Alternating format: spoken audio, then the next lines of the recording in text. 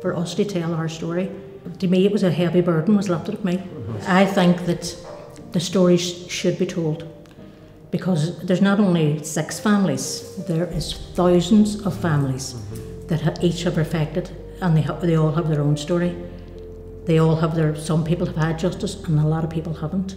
It was tough, but I knew there was a greater good. It was, was the story was getting out there. It was being told, so there was a purpose, and I think that kind of drove me to continue the process. Um, and I kept saying, it's a means to an end. It's getting the story told, and hopefully it does what it's meant to do. And just for the family, and acknowledging it, and the other children there. But it was a, it was a difficult process, but it was something very very special. I think we, we always said that it was something. It was there's something magical about it, you know. It was like a counselling service for me. I mean, I talk about Ned all the time, but sitting among people and then the questions coming out, we were able to talk openly, you know, and answer. Whereas we never had a counselling. Anything went on, it was in behind closed doors.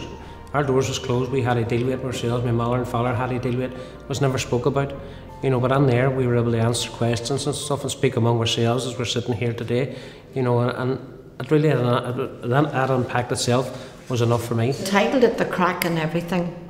A very, very appropriate title for it. Because what I learnt uh, from participating in this along with the other five families, every family's had a crack in it. Back in the 70s, who cared? As Mr. McGavigan said, you closed your own front door and that was it. Nobody was interested. Oh, Claudy's a very small village, one main street and two wee half streets, three car bombs, devastating, nine people dead, over 40, 50 people lying injured. So everybody had their own problems and everybody was trying to heal themselves, and you have to heal yourself because nobody else there for you. And then, of course, if you go on to the legal end of it, and I only can speak for Claudy, but I also can mention that the other families, they haven't got justice. They will never get justice. I know for a fact of someone who went to Westminster in relation to the Claudy bombs, there's not a scrap of paper to be found.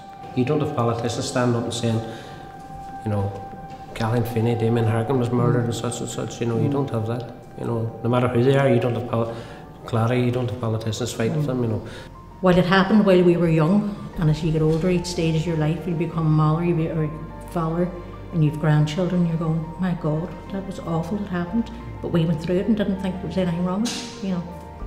And there's something about it, like I never knew in it, obviously I wasn't there, but there's something that makes me feel connected there by doing this story and nearly keeping her alive. And if there's some bit of small good that can come out of it, it would be great. Do you know, her death wasn't in vain, so to speak. This never should have happened, and I think it has to be taken out, but I think it has to be taken out to the young people in a very purposeful way, and I think collectively it has got a great impact. But I do think workshops targeting younger generations um, that's starting to get involved in different things and about to take the wrong path, I think it's important for them to hear the true impact.